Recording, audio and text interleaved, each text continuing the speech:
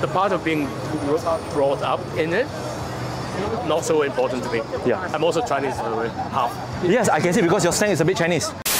And you say that you know you're still stuck with the Trinity. A- Any, anything that makes you stuck there actually. I believe in one God, and that's it. Okay. I have a lot of questions on how I was brought up as Christian. I question all of that because I think it's good to question your, your faith and to come to the answers by you understanding it rather than a preacher or whatever telling you this is how you should think. Hmm. But when I read the Bible, after read several times different versions and everything, hmm. and then different languages, it doesn't quite tell you the same as what you're taught. Faith. It's more, yeah, getting the right an- getting the right answers to know where's it pointing, which way pointing, and where it where does God want me. So that's that makes more sense. Where do you think now you are heading to? That you're pointing to? I say I'm so stuck in between both. You know, a lot, a lot of Christians that I, I have met, even Yeah. in Africa, I went to Peru and Colombia, Yeah. uh, other part of the world as well. Yeah. When I ask them, they say they are Christian. But when I ask them, what is your belief about God? They say, I believe in God. I say, about Trinity. How about Jesus? He say, no, Jesus, I believe Jesus is a prophet. Not son of God. He said, no. Then I say, then how on earth you still a Christian? No, I'm, I'm, I'm a Christian. But I said, that's not what Christian believe. No. But you being a Christian today, you are saying you believe in the one God, you do not believe in the Trinity, you believe Jesus as a prophet of God, then I say there is a belief of a Muslim. Although I still uh, still believe the trick.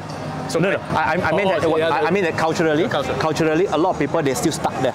Right. They're still stuck there because nobody go and explain to them clearly that basically whatever that they're believing currently, Yeah. okay, is the Islamic doctrine. It's Yeah. not the Christian doctrine. yeah. And all praise to God, they easily they can accept Islam. Yeah. They can easily accept Islam. Yeah. Because why? I mean, naturally they already have the inclinations that okay, Jesus is not God. Jesus is a prophet. Just the same way that what we as a Muslim believe in. Yeah. And, and, and you say that you know you're still stuck with the Trinity. A- Any, anything that makes you stuck there actually. The Trinity only really exists is in the New Testament. It doesn't really exist in the Old Testament. No, no, no, no, Unless no, you have the, if you read the very modern version Bible. yeah. In the Old Testament, it only talks about one God appearing as, like fire, appearing as. Yes. You know, exi- it only it doesn't say anything about Holy Spirit. Doesn't. No, no, no, no, no. It just says. Uh, it just says about God, one God. Yeah.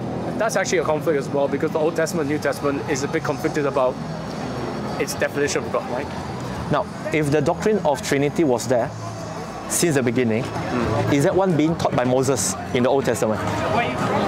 Again, Moses. Moses didn't worship the command- Trinity. The command came directly just from God. Yes. He didn't say. And in Exodus and uh, Deuteronomy, it's very clear. For I am your God, thou God, a, a jealousy God. Thou should not bow down and to any graven image and make any graven image. yes, which is what Islam is based on. And and, and uh, Sorry, uh, that's why you don't have pictures. yes. How about Abraham?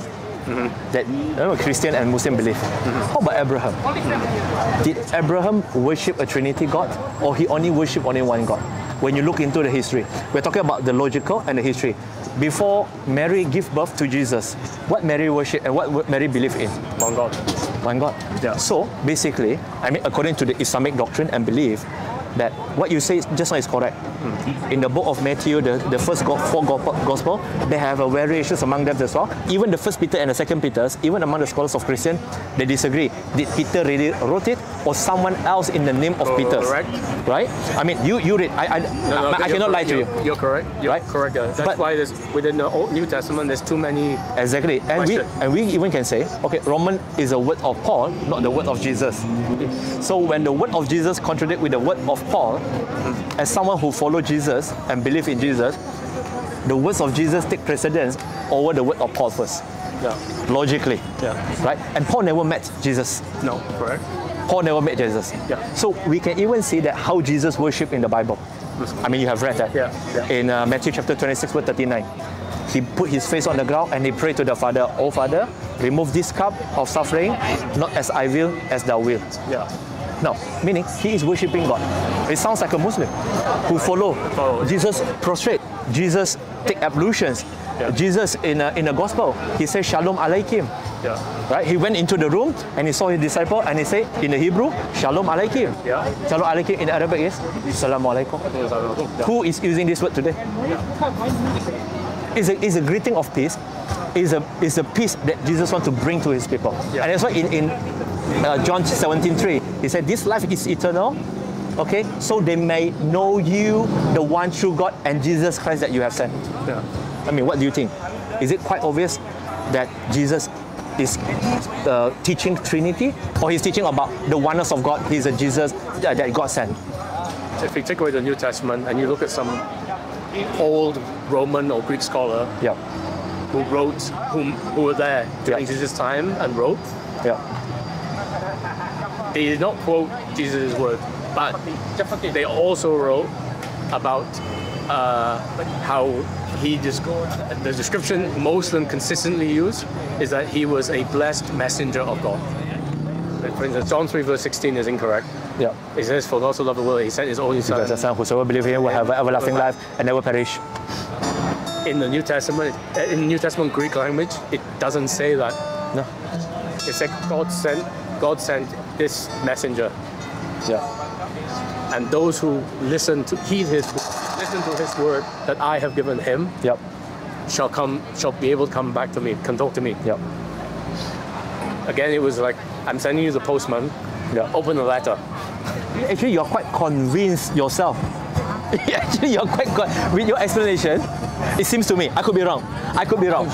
It seems to me you're quite convinced. I mean, I would say at least 80% that you know I still have historically a- and logically. I still have a yeah, I still have an element of uncertainty. Actually, about two or three of them I already like sorted out during this competition. okay, I, I think I'm balancing more now towards Islam. You're more not balanced. It's more inclined already. Because yeah, so I said imbalanced. I said imbalanced. Im- I'm more imbalanced. Sorry, Uh, imbalanced. Imbalanced, and it's towards Islam rather than.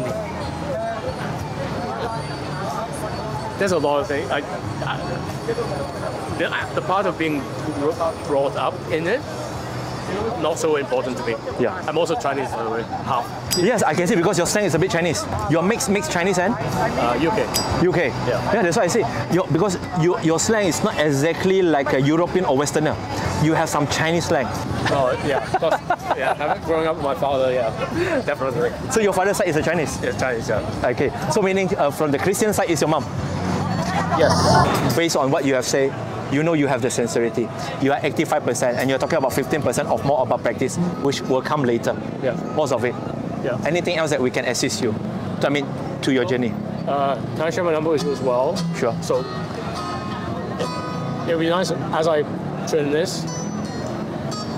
Then if I have questions, I can immediately just because that's one thing that's been lacking is I can't just ask someone, Okay right? You're most welcome. So I will catch up with you. Yeah. No, it's been very nice. No, been very nice. Okay. But uh, inshallah, okay. I have a conviction.